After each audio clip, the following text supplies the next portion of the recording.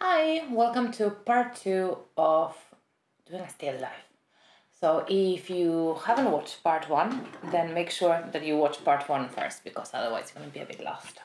So, um, so far I've done all my line drawing, I've done a little bit of measuring, not too much, and I've established all my lights and I started establishing some medium tones as well.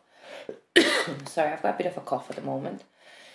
So what I'm going to do is that I'm going to um, come back to my bottle. So as you see, I am working everywhere simultaneously, apart from my background that I'm doing afterwards. Yeah? I normally do backgrounds first, but in this case, I'm going to do it afterwards. I'm going to be working from the center outwards, and that's because I'm working with oil pastels. And if I do my background first, I'm when I come to a center, I'm going to smudge it all. Yeah, so there's always a reason. So I've got my lights already established and what I'm going to be doing now is that I'm going to bring in the darkness. Now don't be afraid when you bring in the darks. You need them there in order to get your contrast and also to have depth and make things look more realistic. So if you go too gently with your darks, it won't look quite right. Yeah? So just establishing a few here.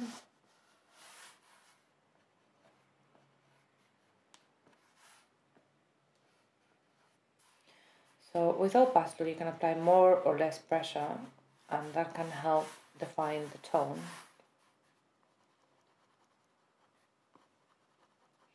So if you don't want it too dark, you can just apply a bit less pressure. Yeah? So I've got that there.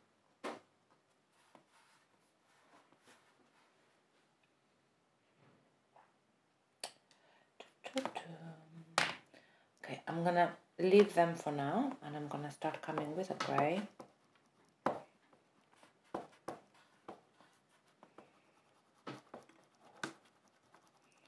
And bringing in some mitts.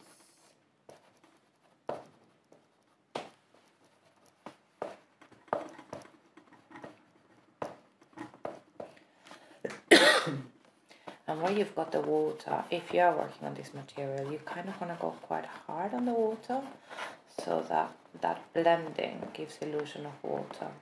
Yeah?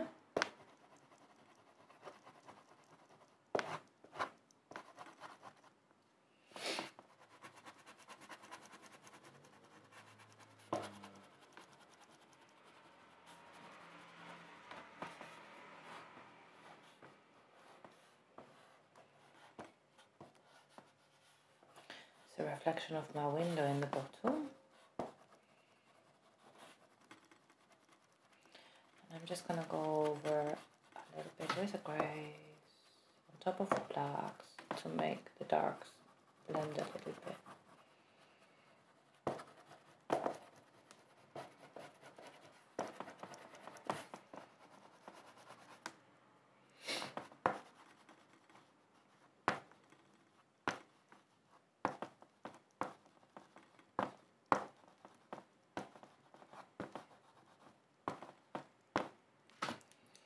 Okay, and now I'm gonna come back with a white.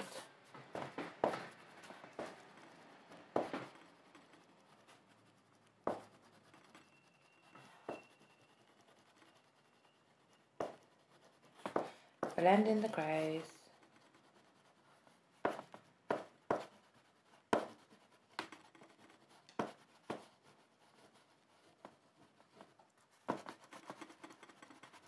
and give the rest of my bottle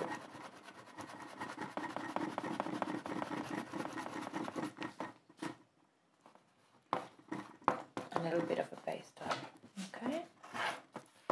I'm going to leave the water bottle here for now. I might come back to it. I don't know, depending on how much time we've got. I'm pretty happy to just leave it there as a basic. Yeah. So I'm going to come back to the apple and I've done my lights and I've done my mitts and now I'm gonna go into my darks okay so I'm gonna grab this deep dark red I might actually grab a little bit of brown before just to make the just for the darkest and then I put the red on top and make them blend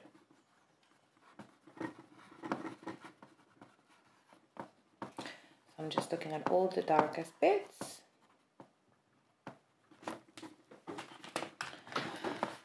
Uh, tiny bit of black in there for the holes, yeah.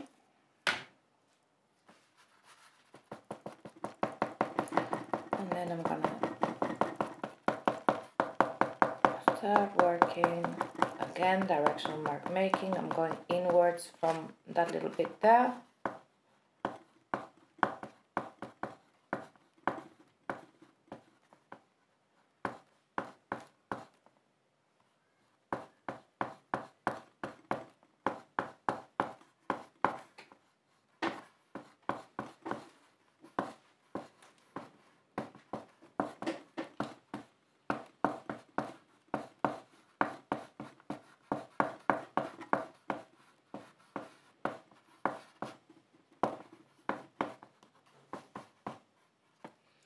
and then I'm gonna grab a lighter red.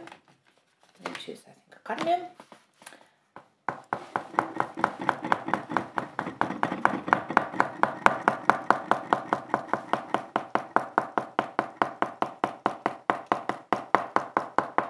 and just making marks to make it look that hmm? and then I'm gonna come back to my lovely lime green and I'm just gonna bring in a little bit of speckles and that contrast between the green and the red works a treat. But as you can see, see I cannot make that dark much lighter.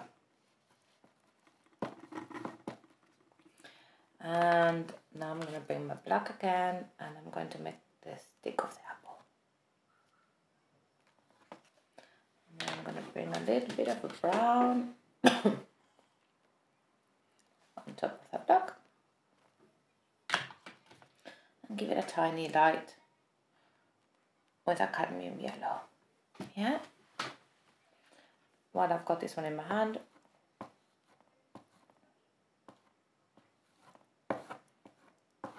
okay, I can do that.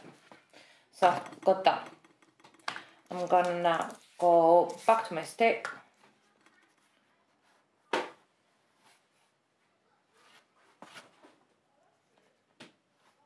Make it a bit darker in some parts. and I'm gonna make it lighter in others. I'm just gonna cover up those reds a little bit with that brown.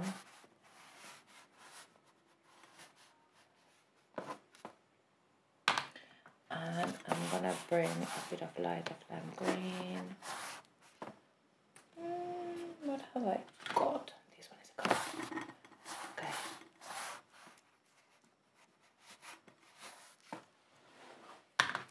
And now I'm gonna go with the shapes. I'm not gonna into great detail guys because I've gotta keep this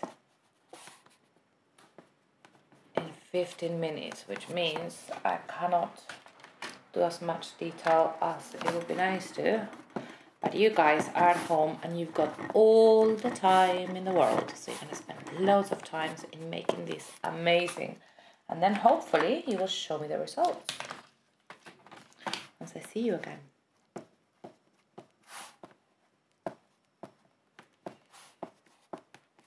and make a few little details there. Excellent. And now we're going to go back to this flower. I'm going to bring in again some browns to my darkest bits. Just to give me a little bit of... Because my red is not dark enough. And then I'm going to go back to this red and I'm going to go on top of the browns because we don't want it brown, we want it to be red.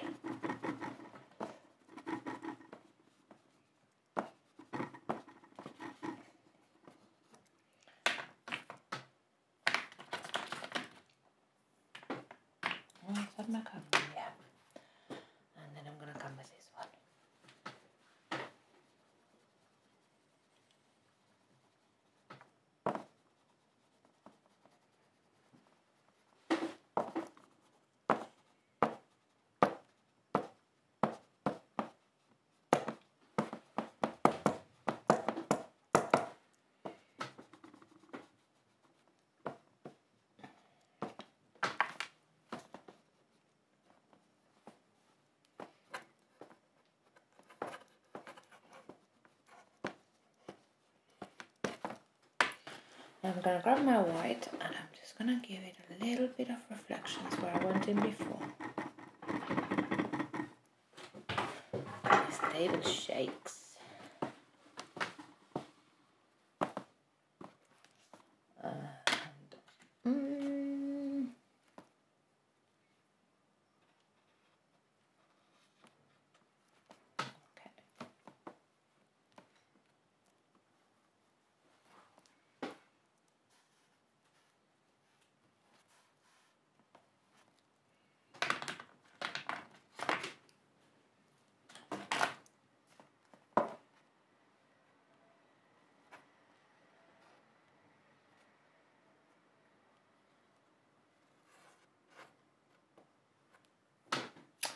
Okay.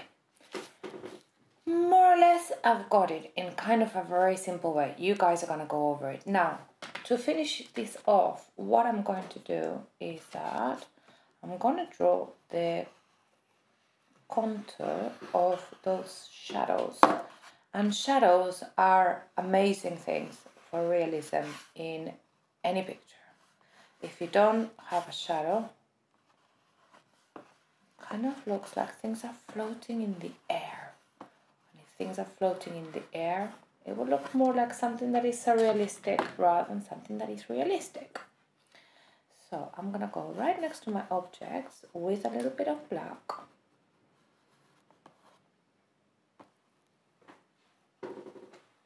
And observing where my darkest darks are in these shadows. I absolutely love drawing shadows. I think they're great fun. So first I've gone with my darkest darks. I'm going to fill in the contours. And that you just do by observing the shapes, yeah?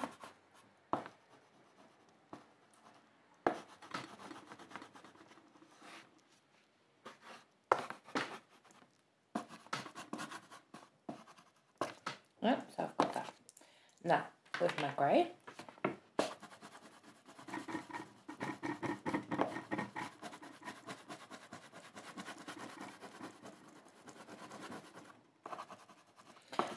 I'm gonna blend in those blacks because I don't want them to be so, so dark. I just don't have a mid grey in my palette. So I'm using it by blending the grey and that one. And after I've done that, I'm gonna go with my greys. And I'm just gonna observe on my mantelpiece which bits are darker than which.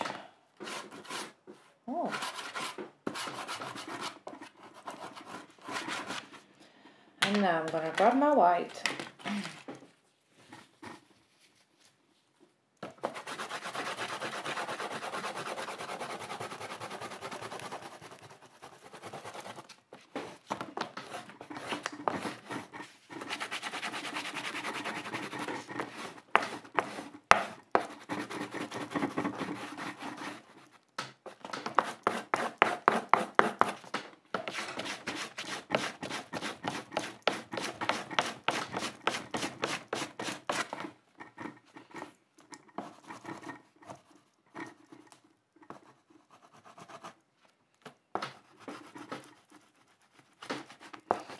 And I'm observing the shadows and the lights on the mantelpiece as I have everywhere else in my drawing because they're as important.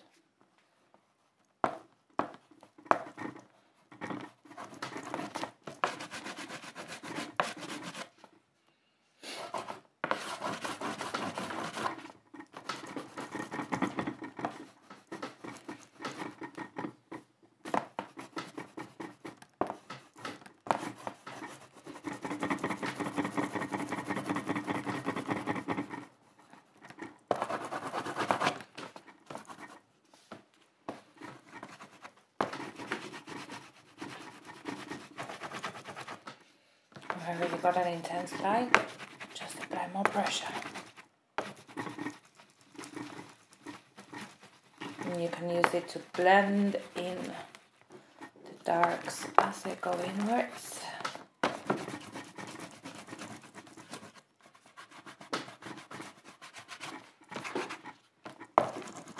Yeah.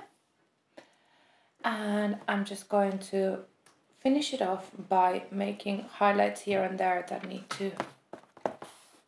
Now with your highlights always try to be minimal. If you make too many highlights it will look a little bit wrong. So in terms of highlights I always tell my students less is more. Yeah? The less you do the better it looks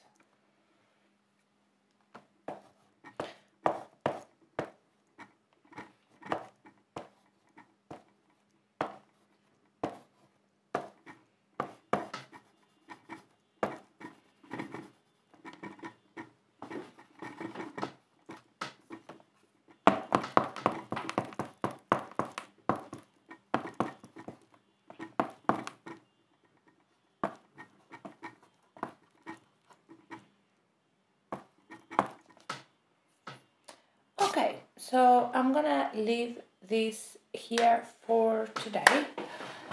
And I hope that you've enjoyed this lesson. And remember, you can do it with anything that you've got at home. I think more than anything is at the beginning, you have to make sure that you measure and you try to understand the relationships between the sizes of how one element relates to the other. So, how big is the apple in comparison to the bottle, and so on. Start off with something simple.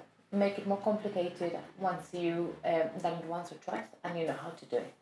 So I really enjoyed teaching this lesson and I look forward to seeing you guys soon. Please take good care of yourselves and it looks like we haven't got too long until we can see each other face to face. Take good care. Bye bye.